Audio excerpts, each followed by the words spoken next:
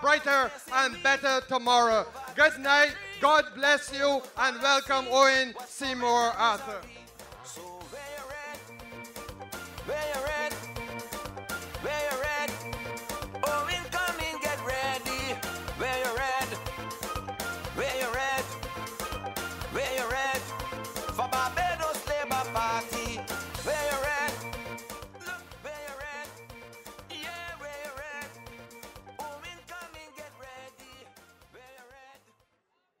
Good evening to you. And, and you know it would have to take a Kerry Symmonds to bring me to give what is going to be my fifth speech for the night. I, I come because we have a duty, no matter what it takes out of you, to remove this government from office. And my first message is a message of assurance and reassurance to you. Some of you would have seen the polls today I might have been a little concerned about it. But the poll itself is a worst case scenario that basically tells you that at the very worst, the Barbados Labour Party will win at least 17 of the 30 seats in the next election. At the worst, at least 17 of the 30. So that at the very worst, this party will constitute the very next government of Barbados. And just be cool. I would have, from these platforms, have told you that the race is not over. And that you are not to behave like Usain Bolt, who believe that you can put your hand in the air. That we are up against a very vicious enemy, a vicious foe, I should say. And that the Democratic Labour Party will do everything in its power to try to win the government. I also must let you know that the nature of elections is such that at some stage,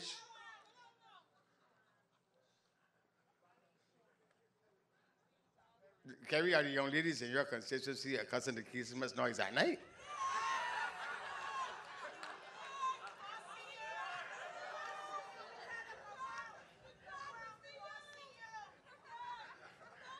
But darling, I might want to see you too, but my wife is here.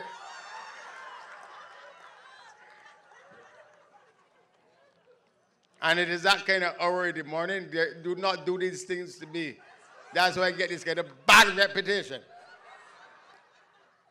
And the ladies are kind of plump lady, and I like them little plump. Heat when it's cold, shade when it's hot. Do not do these things to me. Anyhow, the Labour Party has to be aware that at some stage in this election, the Dems will become Dems again. And that all this poll is telling you is that that moment has arrived. That no matter how embarrassed the Dems are of their government, the Dems will become Dems. And that the poll is telling you that the political leadership career that Chris Sinckler has sought is over.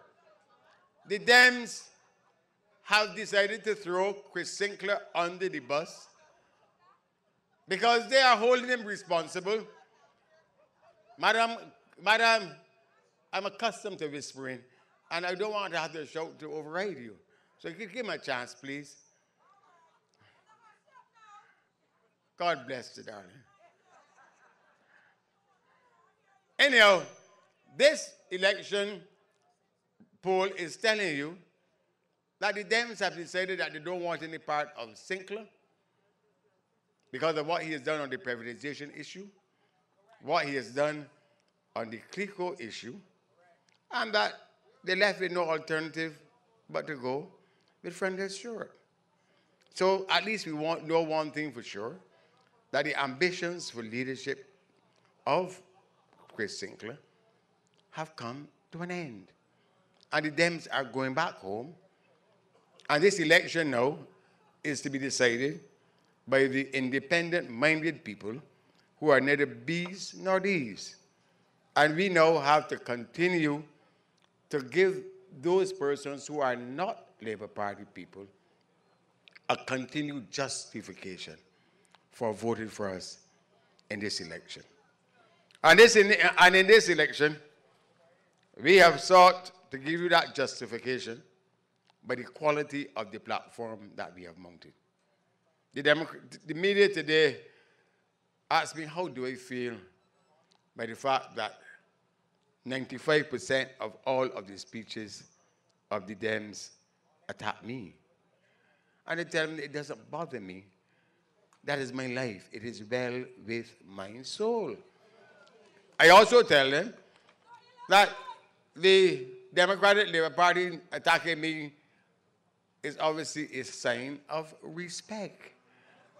They are showing a strange way to show respect.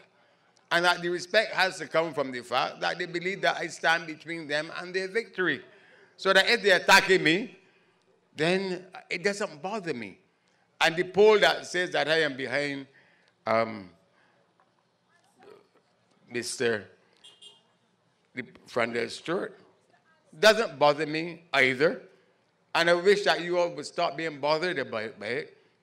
Because in 2008, if you remember, a poll was done by Wickham in January 2008 that showed the Dems winning, but that I was preferred to David Thompson. So if the polls now say that we are winning, but Freundel is preferred to me, well then cool. Let them prefer Freundel, but elect the Barbados Labour Party.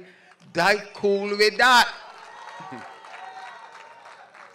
So let not your heart be troubled. Let not your heart be troubled. This has been the best campaign that the Barbados Labour Party has mounted in my 28 years of, of, of politics. It has been by far the best. And we have dealt with a lot of stuff in this campaign. We have tried the Democratic Labour Party. We have dealt with the referendum and told you they don't deserve, on the basis of performance, to govern you. We have held up our manifesto and told you that this is a superior program for the future of this country, and they can't match it. And for the rest of the campaign, I have to deal with the issue that only I can deal with. Now, in the final analysis, it comes down, it is all about leadership. And that our Barbadian society has been a strong society, has been a good society because of the quality of the leadership that we have enjoyed. It has not been about natural resources or bauxite or gold. Barbados has always been well governed and have had leaders, strong leaders, that have been able to hold this country to a successful course. Our strong leaders have not been like the captain of that Greek ship that was the first man that ran the ship aground. What was my name again? But uh, he was the first man to jump off and enter the lifeboats, held the country to a course. And, and tonight, and for the rest of the campaign, it has to be, begin to be said that Barbados needs a leader who can manage and govern and develop the economy. All through our history, the Prime Minister has been Minister of Finance. Errol Barrow was Prime Minister and Minister of Finance because he understood the importance of the economy in building a society. Tom Adams was Prime Minister and Minister of Finance. Erskine Sandiford was Prime Minister, Bree St. John was Prime Minister and Minister of Finance. Erskine Sandiford was Prime Minister and Minister of Finance. I was Prime Minister and Minister of Finance. And in his own kind of strange way, David Thompson was a Prime Minister and a kind of Minister of Finance. Even he understood that the leadership Barbados required was a leadership that, the, that recognized that a society required an economy that was strong to carry it, and that the real primary role of a prime minister was to give economic leadership to this country. And it is not by chance, therefore, that all prime ministers have sought to give that economic direction. What you have now is a prime minister who take refuge in philosophy, love to quote a lot of scriptures, but expresses his economic ineptitude by asking you, the people of Barbados, to accept a false ideology. That you can pay too much attention to the economy, but that you can build a society without dealing with the economy. And I feel that the Barbados Labour Party must regard it as a badge of honor. At a time when our people are sucking salt, to be told that we will pay too much attention to the economy, because I'm absolutely sure that that is, that is precisely what you want your government to do. To take an economy that has been broken and fix it. And, and that the notion that you can pay too much attention to an economy must never fall from the mouth of a leader in this country. Especially at a time, especially at a time when this economy is like a broken vessel. Especially at a time when you, the ordinary citizen, cannot see the future cannot pay your way, are hurting, can't pay for electricity, dodging from the bailiffs, sometimes have a difficulty putting a meal on your table for your children on Sundays. You must come to accept that your prime minister must have economic competence. And the Democratic Labour Party has failed because its leader does not understand that fundamental to leading this country is to do what Barrow did, what Adams did, what Sandiford did, what St. John did, what Thompson did, and what he did. A prime minister also must be a person who makes decisions. You have to decide. And the charge against Randall Stuart has not come only from the Barbados Labour Party. It has come from his own. The charge against Randall Stuart that has not yet been answered by his own is that he has brought a new kind of inertia to bear in the highest places in the land. The, the, the man, as if he suffers from the dropsy, cannot make decisions.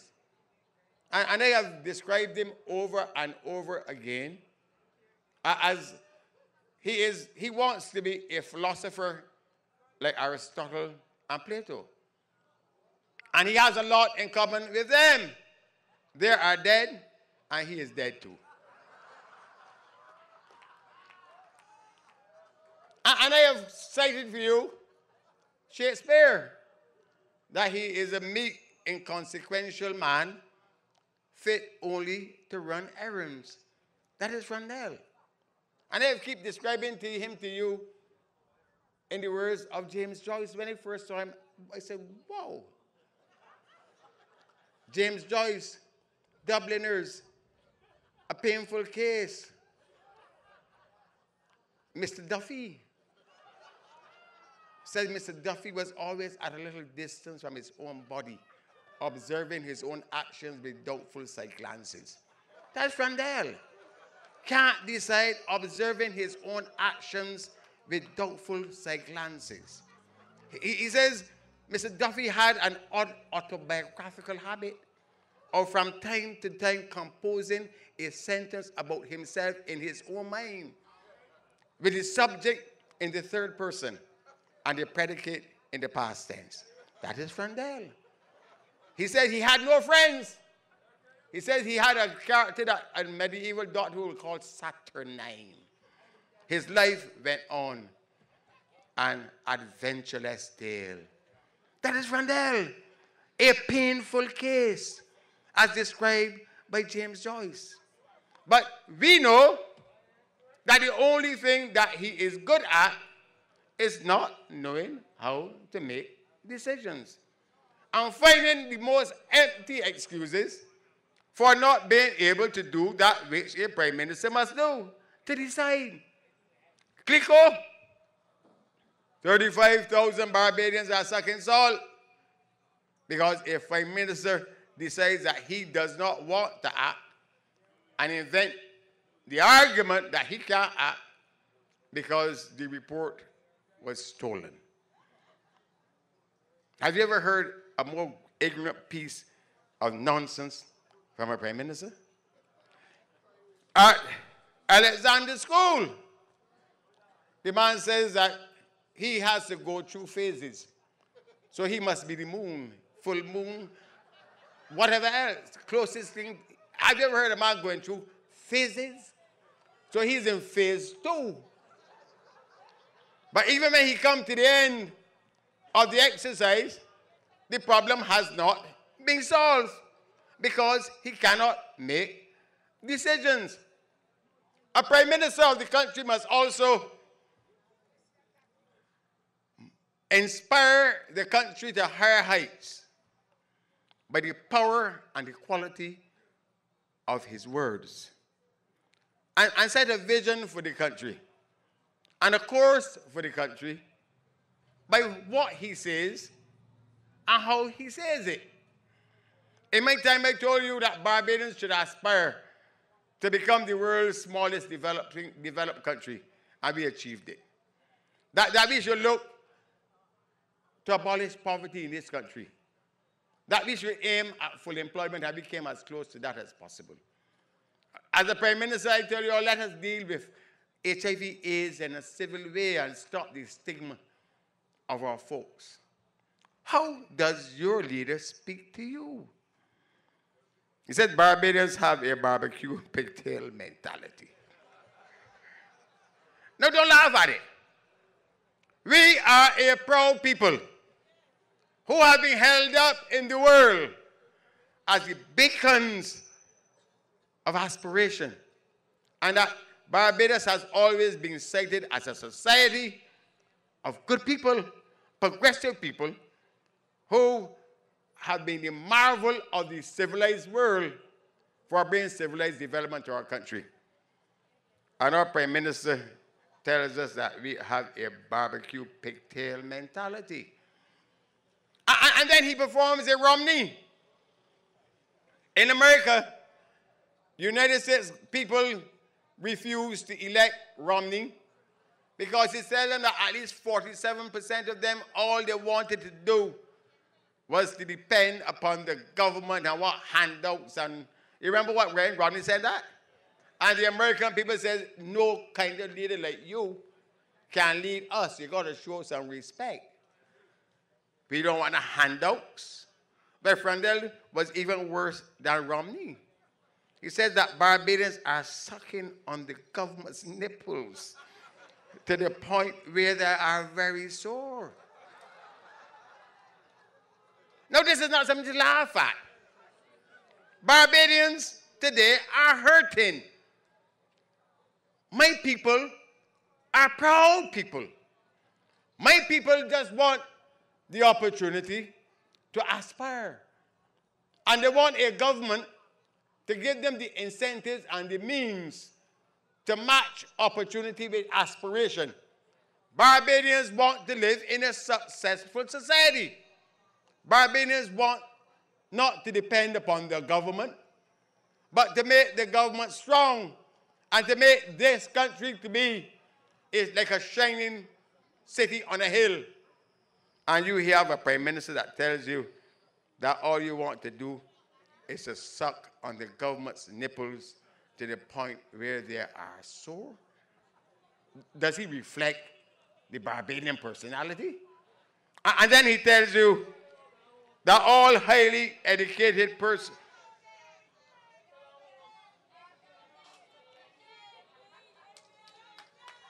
Who, who's that? But it's a damn welcome them the first time they're here in a good meeting, man. Don't send away the people. Welcome them. Freundel said send them here to be enlightened. Don't do that to them. I am friend them, please. But, but I have to go on. And, and then he tells you that with all these highly educated and qualified people in the public service, and they can't solve the problem at Alexandra School, they should go back to the cane fields. There has never been a bigger insult in Barbados than to tell Barbadians, to hold Barbadians responsible for the failure to deal with Alexandra and tell you that your future should be that you should go back to the cane fields. And then the man tell you that if it is money that you want to get put in your pocket, but don't look to the government. He said, look to drug traders and look to the criminal element.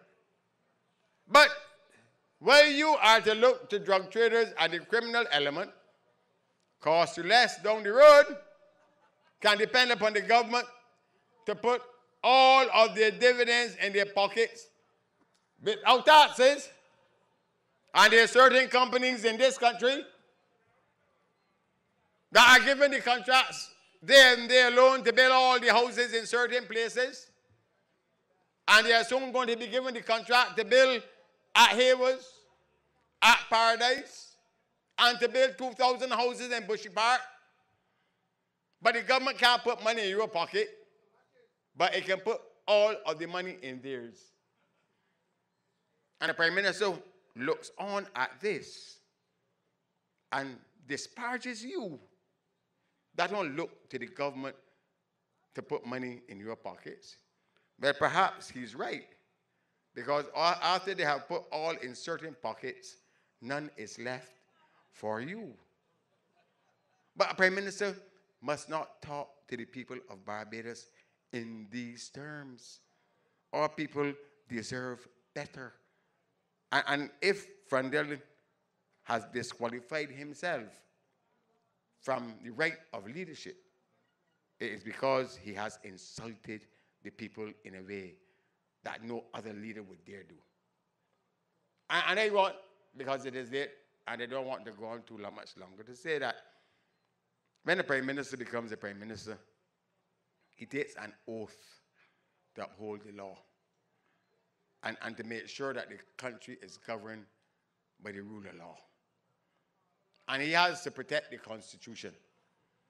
And the Constitution of Barbados says that there should be a cabinet. And that the cabinet should be governed by a precept called collective responsibilities. And that the Prime Minister is the chairman of the cabinet. And he has a duty as the leader of the country to ensure that collective responsibility is the basis of our government. And the Prime Minister fails, then his cabinet becomes a group of wild boys each doing what they feel like. And nobody is there to make sure that Barbados has a good governance without which this country cannot be stable. How can you be in a cabinet as a minister and write a letter to your officers to tell them that they cannot go to a meeting assembled by a ministry of finance and the prime minister does not fire you because that is a breach of collective responsibility. How can you serve in a cabinet as a minister of finance? And the cabinet says that a letter of credit, a letter of comfort must be signed for ANSA McAL to provide the funding to build the Barbados Water Authority headquarters. And the Minister of Finance said he ain't signing it and doesn't get fired. How can our cabinet government be serious if, as you have recently seen, David Estwick again goes to a meeting organized by the government, pelts away his speech, and says, unless I get money, enough money from the Minister of Finance, the shop shut. I done work. And he is not fired. And, and we must not make light of these things. Because the first thing you do to become a prime minister is to take an oath. And the oath says that you are there to make sure that the law is upheld. And this country is now distinguishing itself as a society where the rule of law means nothing. Kerry, in your constituency, what is attempted to be done at Bagatelle reflects a government that has no interest in the rule of law. Recycling in Barbados is a good project, but any recycler must abide by the law. I have nothing against the binos, but I went to King Garden. They put up a recycling facility without having planning permission. And they were told, the town planner says, push it down. I said, town planner, I was the minister then. I said, town planner, recycling is a good industry for Barbados. Don't just push them down. Give them three years to find an alternative. I mean, I offered to work with them to carry the recycling facility over to Vaucluse because Vaucluse has virtually emerged as a place for solid waste management. And if you can have recycling, have it over there. But a deal has been cut. And these things are wrong. And they want talking about. He gets into an arrangement with Thompson that he has a piece of land at River Bay, and he offers the government part of the land at River Bay that I refuse to agree to do. And they want to say these things that if you go and buy land in Barbados in an environmentally sensitive place, do not expect a Labour Party government to give you planning permission to develop it. There's a man called Benjamin. He went to his death hating me eventually because he wanted to have people with a resort, build a resort in the sand dunes of St. Andrew, and they told him no. And they became the worst person in the world. And they would have received planning applications to have a resort at River Bay. And I did not believe, as I don't believe, that our Barbados will be the same Barbados if the most scenic place in our country is desecrated by letting one man put a resort there. And if you go and buy land in an environmentally sensitive place, do not expect a government to offend good environmental and ecological considerations by giving you commercial permission. But by nose got an agreement that they'll exchange piece of the land at River Bay for the land at Fort Denmark and the acreage of land at Bagatelle. But that's not even the point I'm making to you. The point I'm making to you is this that nobody, the binos have to know that you just can't go and put an environment, a, a, a, a recycling facility any and everywhere. They must know from their kindergarten experience that you have to go through the process of applying for a planning permission. And that a recycling facility will raise environmental considerations and that the planning permission will have to await an environmental impact assessment before any action is taken. But what happened in Barbados is that the government, led by Freundel Stuart, who is the Minister of Planning and should have read the Town Planning Act, says don't mind the law. Ignore the fact that the law says that you have to go through the process of applying for permission and that you have to do an environmental impact assessment to see how it affects those people down there. Ignore that and let the cabinet take the place of the law. So the thing went straight to cabinet as if in our land, the cabinet doesn't have to uphold the law. The cabinet can feel that it is above the law. And the issue at Bagatelle is a very, very serious issue. Because once a government comes to believe that it is above the law, and that what the law says must apply don't have to apply because the cabinet can determine otherwise. You have to begin to ask where that is going to end. Because we must be a society whose democracy rests on the respect for the rule of law.